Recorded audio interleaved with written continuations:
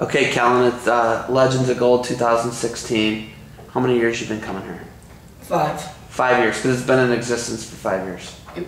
What's the biggest change from when you came, you know, five years ago to now? What would you say the biggest change about this facility has been, or the, the coaching staff? What's the biggest change for you?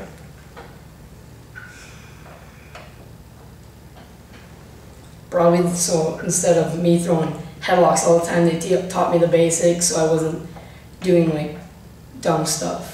Pin, win, or die is not your, your philosophy anymore? No.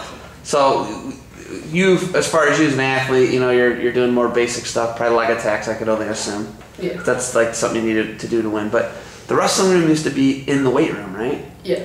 And it was small. Yeah. Now they got four mats, four and a half mats.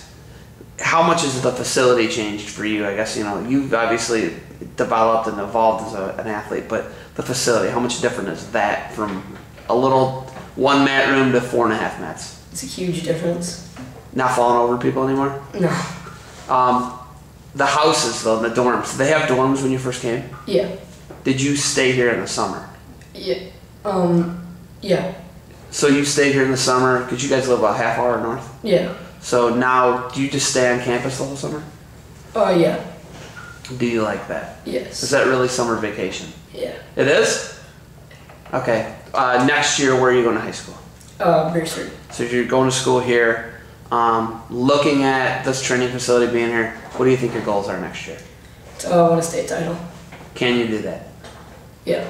Yeah. What weight? Uh, 106. 106. What do you weigh now? About 110.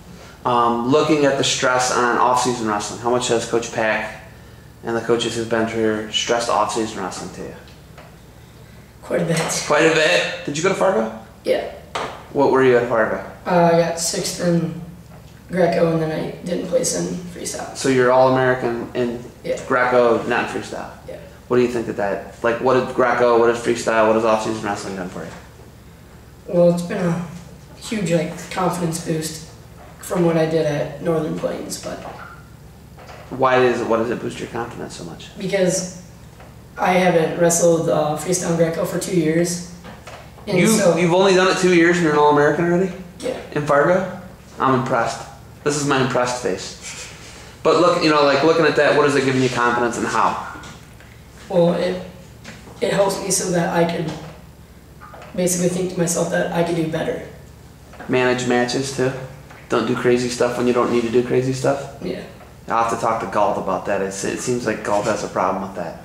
Uh, you'll be teammates with Galt next year. Yeah. What's something you learned from Galt? He well for freestyle Greco instead of just going in and grabbing the guy, he was teaching me to just walk in and then attack one side, not both sides. Okay. So have a plan? Yeah. Okay. Uh, if you can win a state title, is the goal obviously to be, then to be a four-time state champ? Mhm. Can you win Fargo eventually? Hopefully. Is that the goal? Yeah. All right. Favorite thing about Legends of Gold? That we have like nice dorm rooms and then we get to have activities so it's not always just focused on wrestling and just we get to do all sorts of fun stuff. If there's one thing you want people to know in the country um, about this place, what would it be? That we get more uh, one-on-one training than probably most of the places around here. All right. Do you got anything else for me?